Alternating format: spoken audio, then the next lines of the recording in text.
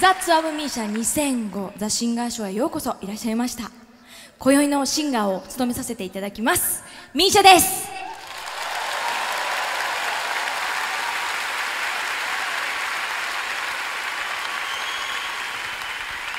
あのこの姿を見てもうお気づきの方はいると思うんですけども次はあのこのギターを弾きながら一曲歌わせていただきたいと思ってます。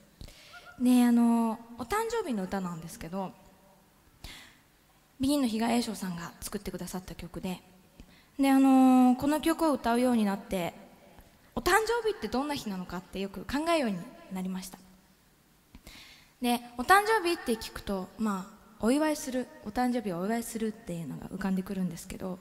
何をお祝いするのかっていうと今まではこう私は二十歳になりましたとかなんか25歳になりましたとかこう何歳になりましたっていう年齢に対してお祝いをする日だっていうイメージがあったんですけど最近はそうじゃなくてお誕生日っていうのは生まれてきたことをお祝いする日。こうして生まれてきてあなたと会えてよかったっていうことを喜びを分かち合う日なんだってこの歌を歌うようになってより強く感じるようになりました。あのニュースでは桜の開花予想なんか出てますけども、えー、桜の似合うこの春に生まれた方っていらっしゃいますか？会場の中に。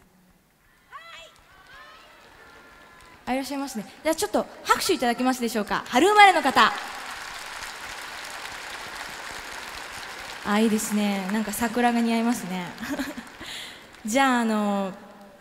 夏休みがあるせいですごくドキドキしちゃうワクワクしちゃう季節の夏生まれの方っていらっしゃいますか？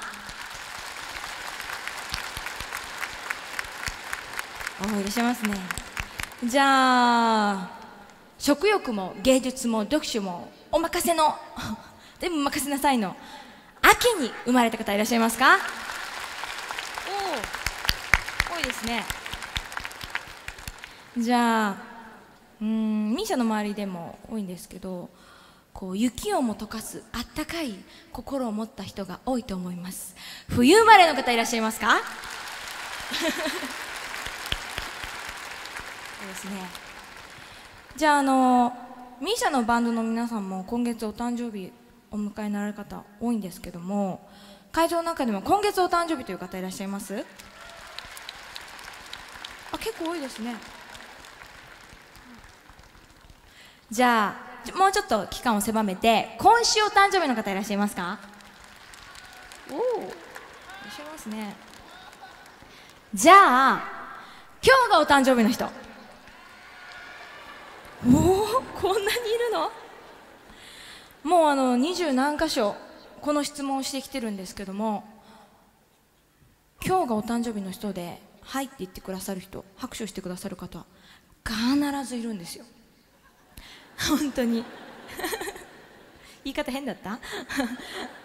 であの春夏秋冬でどの季節にもお誕生日の人っていてそしてもっと言ってしまうとこんな風に365日この地球ではいつも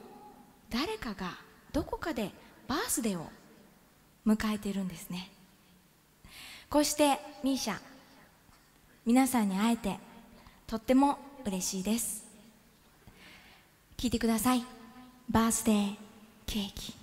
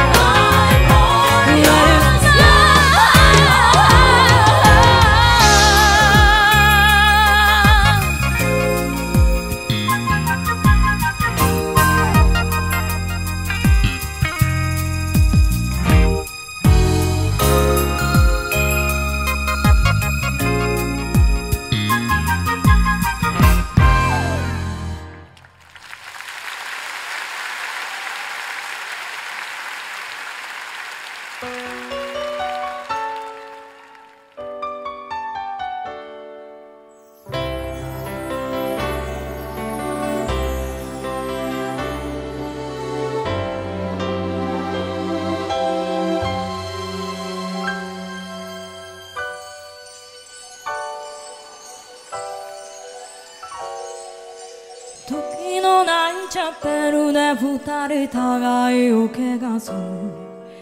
行き場のない淡い思い涙ぬらずあ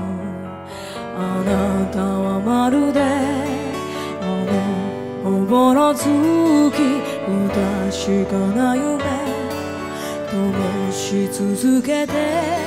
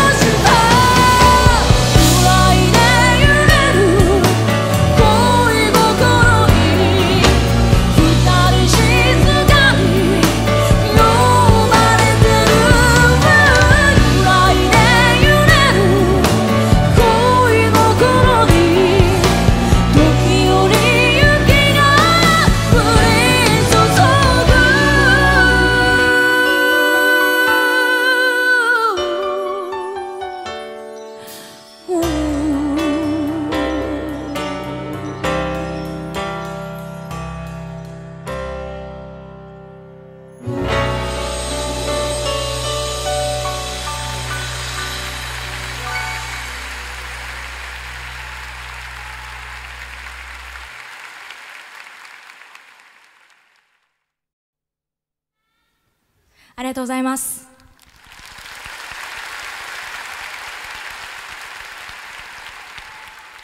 では、えーここで少し場所移動しましてこちらの方に行きたいと思います。こんばんは。こんばんは。こんばんは。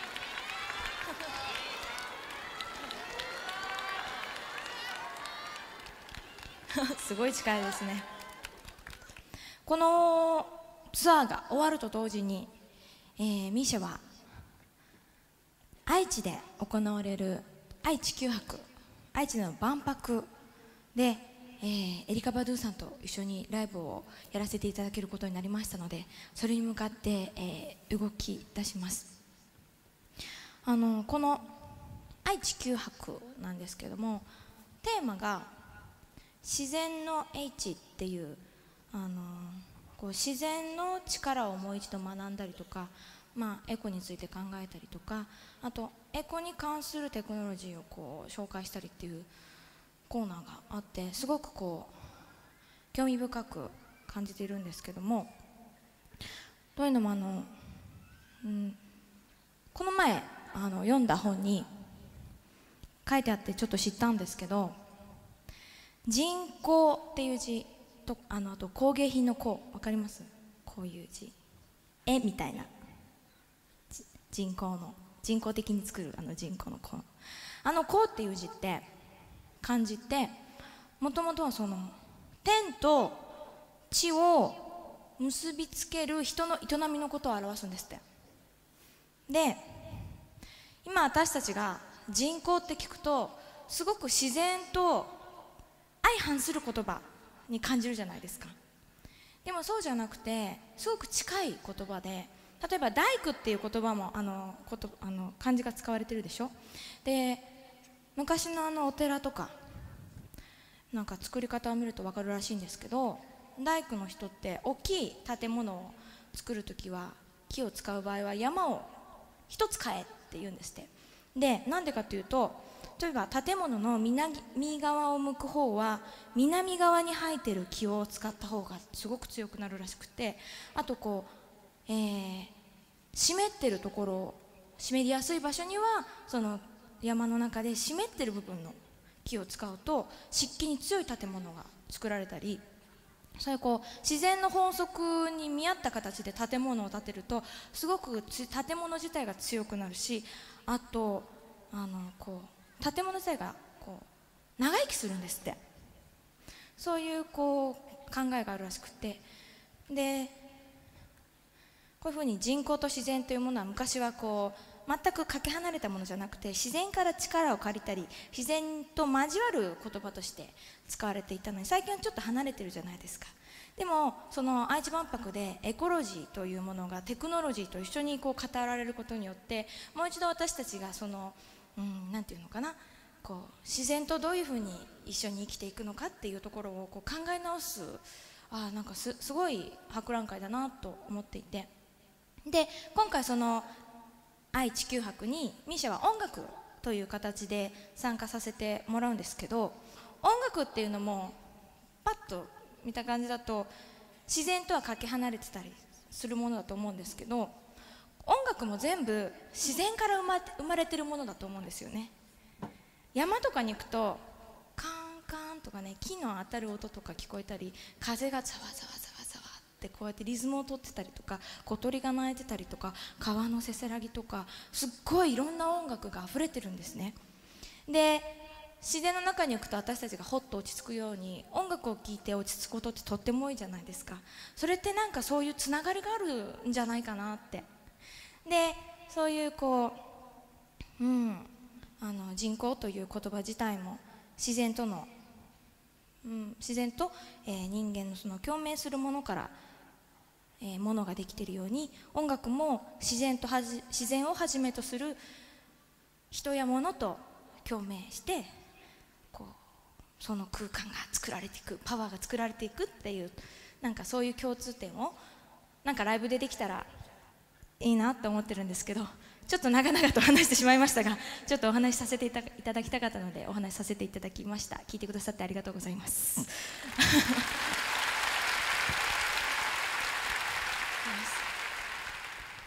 では次は、えーここから歌っていきたいと思うんですけども次に歌う曲はザ・ブームの宮沢和文さんが作ってくださった曲でこの曲を歌う時にいつもミーシャ思い出すお話があってこれも何かの本で多分読んだ読んで知ってるんですけどあの船で旅をする時航海する時大事なものが2つあるんだそうです。それは星と風なんですって。で風は海に風が吹かないと波が起こらないしあと帆を押してくれる風がないから船が進まない止まってしまうんだそうです。で星は昔は星を見て方向をしてたらしいんですよね。だから星がなくなってしまうと船は広い海の中で海の上で迷ってしまう。だから星と風っていうのはすごく大事なものなんだっていうお話があって。で次に歌うその宮沢さんが作ってくださった曲の中にも「風」と「星」という言葉が出てくるんですけどミーシャはあのそのお話を思い出しながらあこれは大切な人の人生を例えば後悔に例えて時には風のように時には星のようにあなたを見守ってそしてそっと力になりたい。そんなことを歌っている歌なんじゃないかなって思っています。では次はその歌を聴いてください。ザ・ブームの宮沢和文さんが作ってくださいました。風のない朝星のない夜。